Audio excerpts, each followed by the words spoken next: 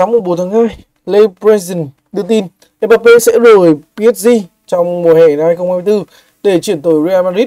Sau đó thì nhiều nguồn tin cũng xác nhận với ESPN rằng sân Santiago Bernabeu sẽ là câu lạc bộ mới của chân sút người Pháp trong mùa hè này. Tháng trước thì cũng theo ESPN, Real đã gửi lời đề nghị đến cho Mbappe. Nhà vô địch World Cup 2018 đã được cho là sẽ có quyết định tại thời gian sớm nhất. Và hiện tại thì Mbappe vẫn chưa thông báo về PSG cũng như với cả Real Madrid về tương lai của mình. Tuy nhiên thì nhiều nguồn tin khẳng định rằng tiền đạo 25 tuổi này đã đưa ra quyết định cho ESPN rằng, thêm rằng đã yêu cầu Real để anh tham dự vào Olympic mùa hè diễn ra vào tháng 7.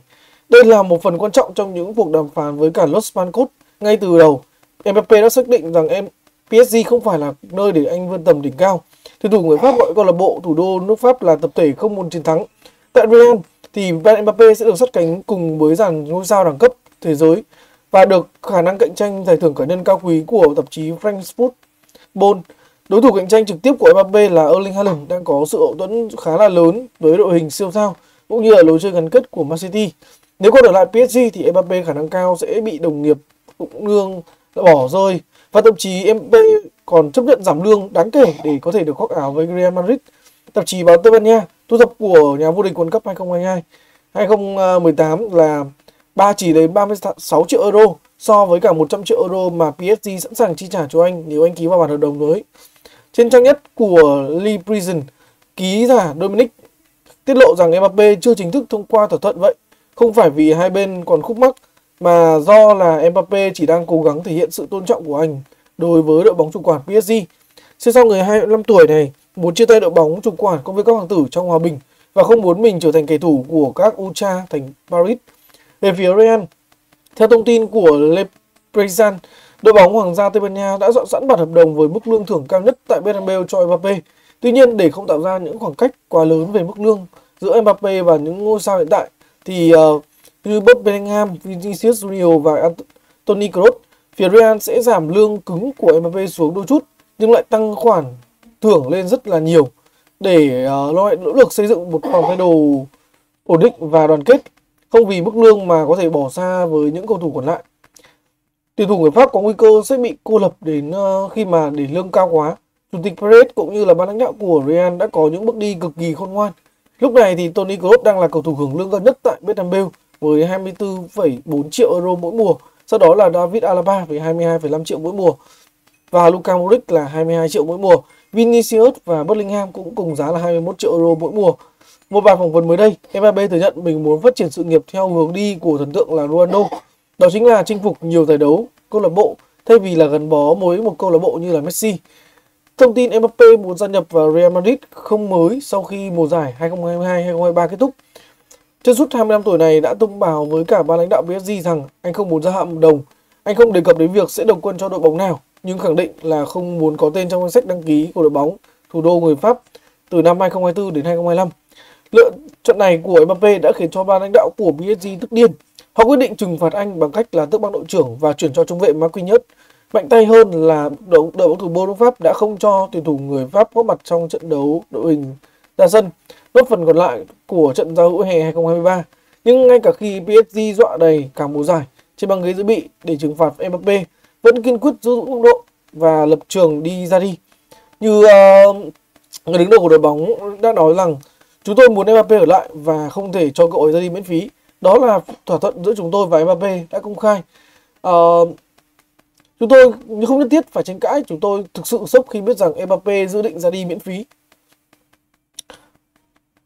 Chủ tịch ờ, uh, Asni cũng nói thêm rằng PSG cảm thấy rất thất vọng vì Kylian Mbappe là một trong những trai tuyệt vời và một người đàn ông thực sự là lịch sự lại chọn cách ra đi như vậy miễn phí để rồi làm suy yếu đội bóng lớn nhất của thủ đô nước Pháp.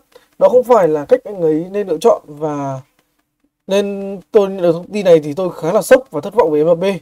Và tôi hy vọng là Mbappe sẽ tiếp tục ở lại thêm PSG thêm một năm nữa hoặc là ra đi ngay từ bây giờ.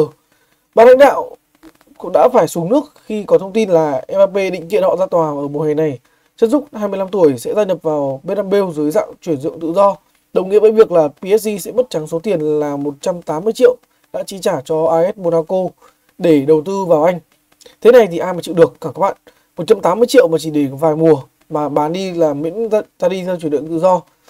Họ liên tục áp dụng những chính sách mưa dầm thấm lâu với tuyển thủ người Pháp. Mặc dù vậy thì Mbappe quyết định là không để tiền bạc cám dỗ thêm một lần nữa và thậm chí Mbappe sẵn sàng chấp nhận mất 80 triệu euro miễn phí à, phí trung thành với PSG chỉ để được thỏa mãn nguyện vọng đến Real Madrid.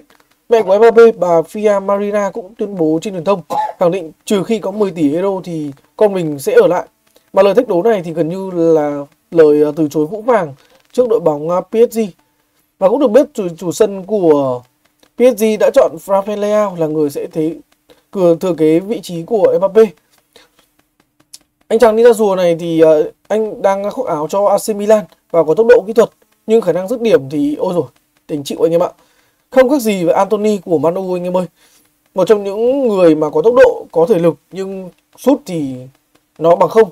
Và ngoài ra thì PSG cũng không còn sự lựa chọn khác, cũng không thể nào động đến những uh, tiền đạo cánh của như kiểu Liverpool hay Man City được bởi vì là họ đã có một môi trường rất là tốt rồi.